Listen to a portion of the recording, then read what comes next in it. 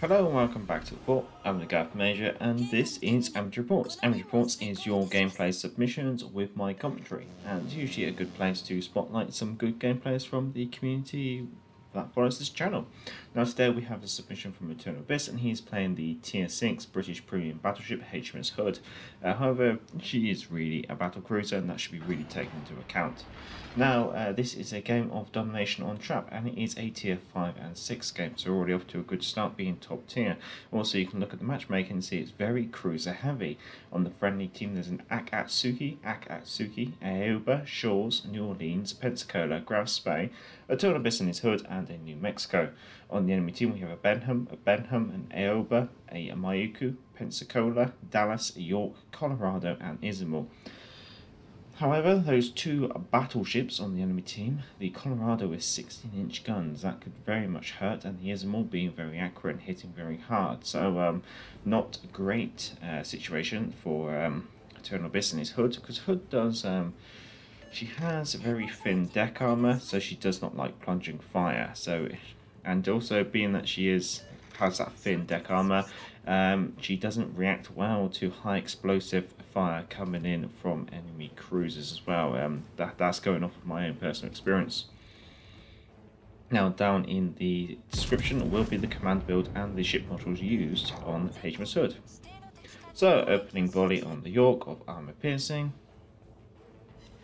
Getting ourselves our first on 11,400 damage that was only really one hit on the target, so very nasty AP damage coming out of this.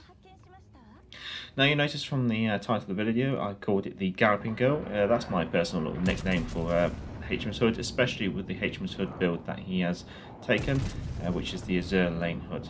The reason being is you can get the top speed right up, and you can see just there he was up to 36.8 knots before he had to start making the turn. Only getting a uh, over-penetrating hit on the York there, so only tickling her for a little bit more. Izumo to his front, which is obviously a concern. Looking at the mini-map, we can see that four of the enemy cruisers and the Colorado all over at the Charlie objective. Getting another volley out on the York. Tickling it a little bit more.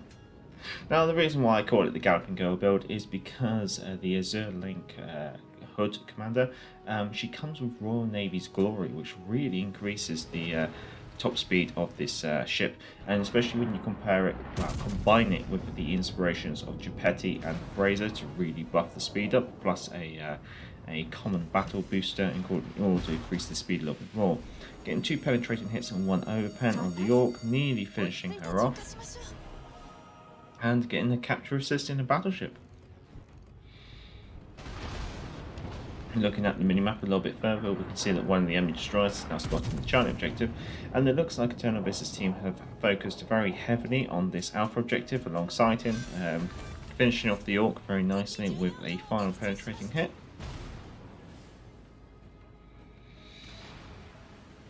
Now, he has taken Master Mechanic, uh, however, he's also taken far-sighted, so he's only gained one additional repair party over what you would have base-wise. Using the island in order to isolate himself from the Izumo very nicely, and also the Izumo's focusing on the uh, rest of the enemies. Izumo's now nicely broadside on. Let's see what kind of reward we can get with our hood build.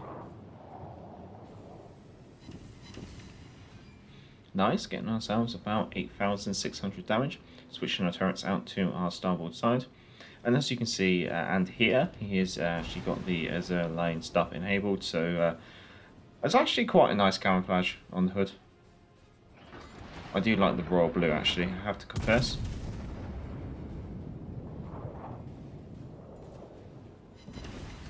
Mm, getting another 6,000 out of the Izumo, but not quite able to find a Citadel. For modifications, he's taken Aiming Systems Module 1, Propulsion Module 2, and Target Acquisition Systems Module 1. And there's a very good uh, showcase of why he's taken the propulsion mods um, a bit later on. I'll point that out. Personally, I go for steering gears. The reason being is I find that the the hood can be a little sluggish when uh, kiting sometimes, uh, and having the um, I usually go running with scissors and steering gears. The reason being is the combination of those two gives you just enough rudder kick to almost flick out your turrets and tuck back in nice and quickly. However, I can see the uh, I I can accept the options or the alternative choice of going far-sighted and propulsion mods. Fingers crossed we should be able to punish this system now. Very nice, getting ourselves a Citadel and getting ourselves about 27,000 damage. However, someone uh, secures the kill uh, with a fire. So, unfortunately, um, although we're up to 79,000 damage, we've only got the one kill so far. Only two Citadels as well, which is quite amusing.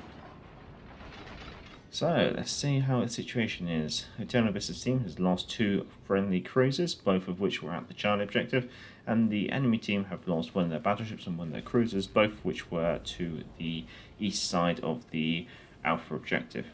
Spotted, now, that's the one of the problems with Hood. She does have an absolutely monstrous uh, detectability, even with a camouflage equipped. I think it's about 14 kilometers. Because uh, one thing to note is he has taken Brawler, which does actually reduce the uh, gun range of the Hood. However, I do find that Hood really benefits from being a bit closer in. She's not really a long-range sniper. That's just simply due to a combination of her accuracy and her armor. Colorado's given us broadside, so uh, aiming slightly higher up, going for the upper bout, because we know the Colorado's got an absolutely tanky amount of armour. However, once you get through the thinner upper bout, getting himself uh, 15,000 damage from 5 penetrating hits. Noting there's uh, two destroyers off to his port side, both of which we know will be Benhams. Friendly Akatsuki is laying a smoke screen to his front, however that's not going to be a massive use uh, considering that there's aircraft in the air and the gigantic detectability of the hood. So the enemy's gone and secured the center cap, so now the enemy's actually getting the cap advantage. However, uh, Abysses team still has quite a healthy amount of a point lead, uh, simply due to uh, having captured B for longer and considering that the Bravo objective is being contested. Only one repair party left though, um, so probably going to be looking at using that soon. Now here's a nice little bit where using the propulsion mods he's been able to really back it up nice and quickly. Tidying off the Colorado, getting himself his second kill with 111,000 damage done. However, friendly Pensacola that was contesting the Bravo objective is now gone. So switching it back forwards. And this is a very nice one. HMS Hood comes with sonar, so it actually means that she has some form of defense against torpedoes when you consider that she does have a gigantic turning circle of 910 meters, and that's simply due to her very long length. Although amusingly, the recent Tier 7 premium cruiser, that is the end reward of the Yasin Butai campaign, uh, the Yazuma, is actually the same length as the hood almost. Closing in on the Benham, high explosives loaded, should be able to finish her off in one hit using our sonar to pick her up. There she goes, polishing off very nicely, nearing ourselves a high caliber at the same time as securing our third kill. Myoko to our front, possibly going to be giving us some trouble. Always got to bear in mind that Myoko does have two torpedo launchers per side, and she's probably chucked those torpedoes out now. So, hoping that she hasn't predicted the sharp turn into the island. Armor piercing now loaded into the barrels. So, the idea behind a battle cruiser is very much she may come with big guns in order to kill a cruiser.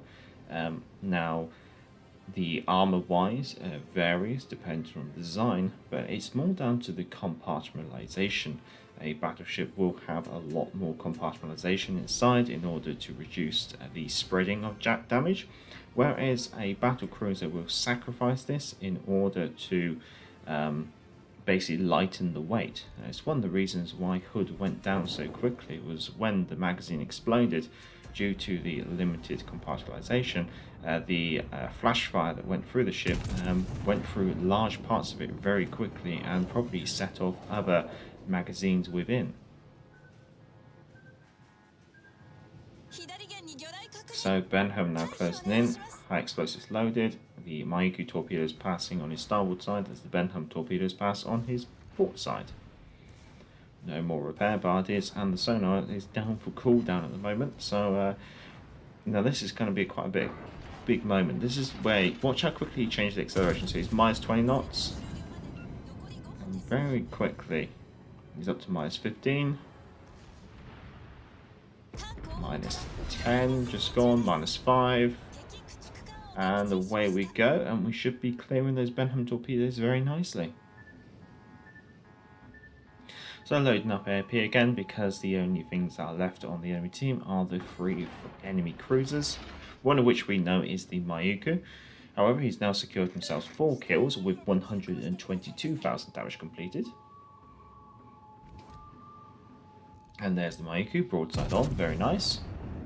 See if we can punish her.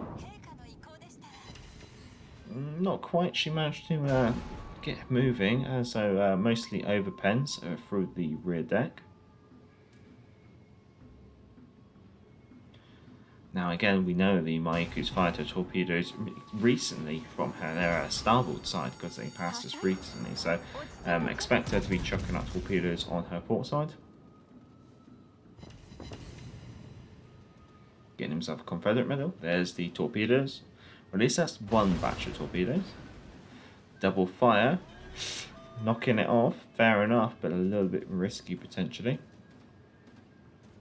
Swing the guns round to the starboard side as we close in round on the other side of the island.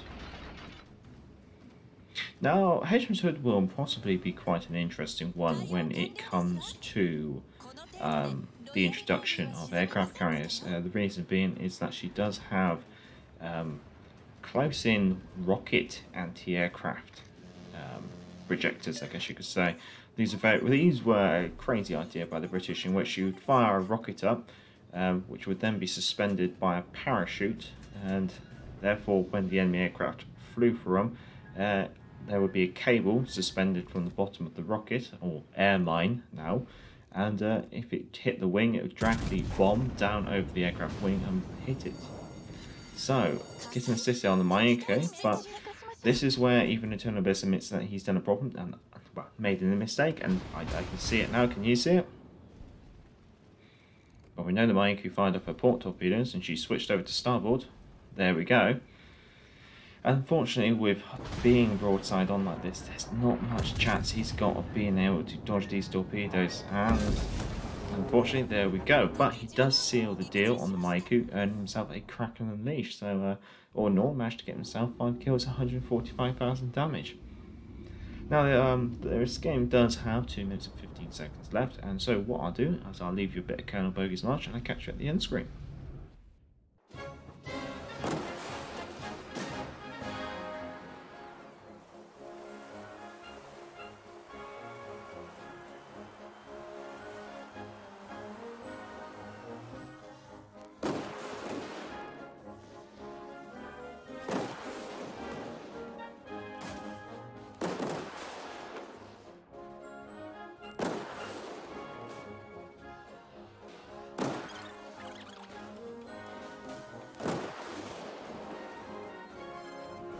So here we are at the end screen, and Eternal Abyss managed to get himself 145,000 damage with 62 hits on target, and 3 citadels and 2 fires, securing himself 5 kills, 1 capture assist, 5 secondary hits and 9 incapacitations, plus shooting down aircraft getting himself Kraken Unleashed, Confederate, and High Caliber. And the reason why he sent this in is because this was his 100th Kraken. So uh, congratulations to Abyss for reaching that milestone.